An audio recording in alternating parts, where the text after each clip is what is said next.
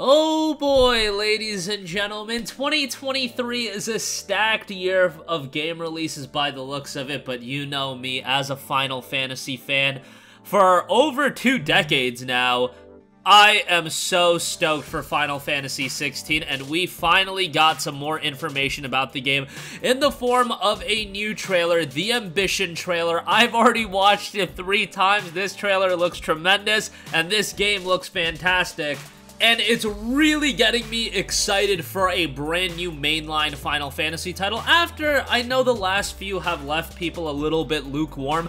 Final Fantasy VII Remake aside, I'm talking Final Fantasy 15, Final Fantasy 13, um, those were games that I personally enjoyed aspects of them, and I probably enjoyed Final Fantasy 13 a lot more than most people. Final Fantasy 15 really had its narrative issues, but I think Final Fantasy 16 is really taking the franchise back on track, and there is so much potential for the game. Obviously, if you have yet to see it yourself, go watch the Ambition trailer, because this trailer is more about setting the tone for the world and the characters introducing you to those aspects of the game, not to mention giving you a little bit of a glimpse on that tremendous soundtrack. Final Fantasy would not be Final Fantasy without some great music, and this is a game that looks to have some fantastic music and a fantastic soundtrack to boot. So we got a lot of information coming from Naoki Yoshida and Square Enix regarding the game, so let's talk all about it. The trailer description notes, Who shall claim their fading light? From a single spark will the land ignite. A new shadow rises to fall upon the dominants, painting their destinies black as night.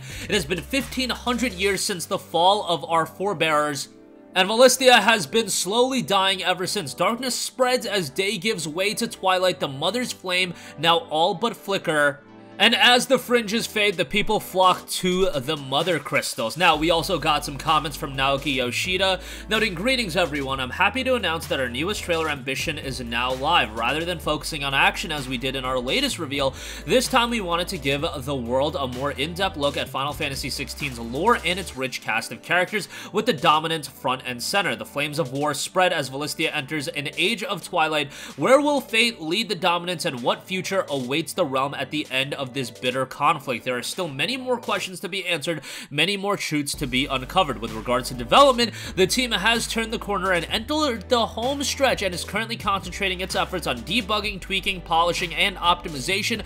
As for promotion over the next few weeks, myself, main director Hiroshi Takai, creative director and localization director, will be taking part in interviews with multiple media outlets from across the globe to bring you even more information, so make sure you keep your eyes out for those as well. Hiroshi Takai also spoke a little bit about it, noting a lot of the same stuff. Hello, our third trailer is finally here and jam-packed with exciting new information that provides a better picture of how the game's setting, lore, and characters tie in with our compelling narrative. Hopefully, it was worth the wait. Also noted, the game edges closer to completion. The team has turned its attention to debugging and final adjustments. Now that things are starting to come together, the game is sizing up to be something truly special. We know you are all hungry to see more, but for now, we hope this little peek into the world of FF16 is enough to keep you satisfied and speculating until our next big reveal. I should also note that the game was still noted for a summer 2023 release, and the vibe that I'm getting from the Final Fantasy 16 trailer, and not just this trailer, but all of the trailers, all of the footage we've seen thus far, this does seem to have a little bit more of a mature tone than some of the other Final Fantasy titles.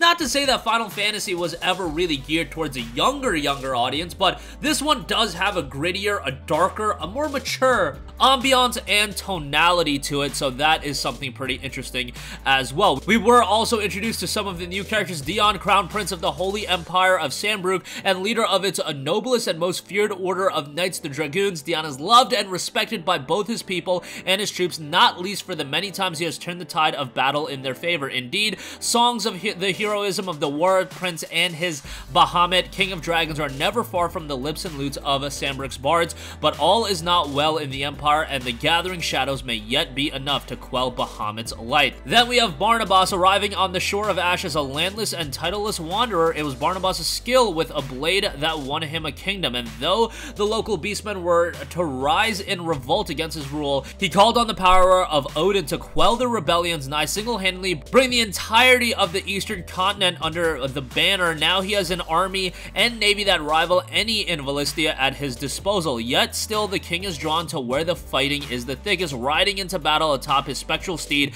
and sundering foes foes with his fabled Black Blade or merely observing the unfolding chaos from the sidelines, a grisly gleam of fascination ever in his eyes. So you are introduced to a plethora of characters. Those are just the two that got descriptions as well. Those are the dominants, of course, of Bahamut and Odin, so that is definitely something to keep an eye on. We also did get some new scenes from the trailer in the form of screenshots courtesy of the PlayStation blog.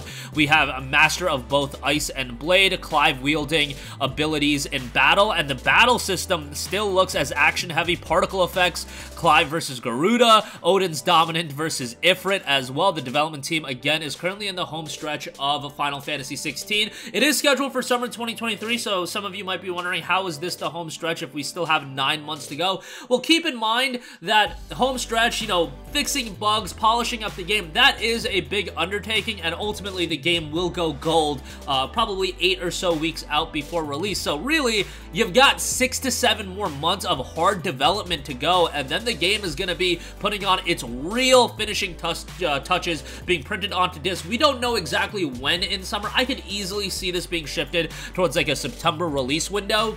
But excitement seems to be at an absolute pinnacle when you talk about Final Fantasy XVI. You just look at the reception on social media right now, and it seems like people are buzzing about this game. And Final Fantasy XV definitely had that level of buzz. I mean, hell, Final Fantasy XV had a reveal event where they announced the release date. That's how much people were excited for it. By the way, that release date that they catered and centered a reveal event around that was a delayed release date. Like, they ultimately delayed the game again. So, in the case of FF16, it's been nice to see the game get a consistent stream of updates without any real turmoil in the development. Like, I really can't remember at any point people were worried about FF16. Sure, did I want to play the game earlier? Did I want to play the game this year? Fine, that's just me being excited for the game every single time Naoki Yoshida and the team were just like, it's making progress, it's making progress. At no point were we like, this game's in development hell, oh, things aren't going right. No, we got a consistent stream of updates and content towards the game,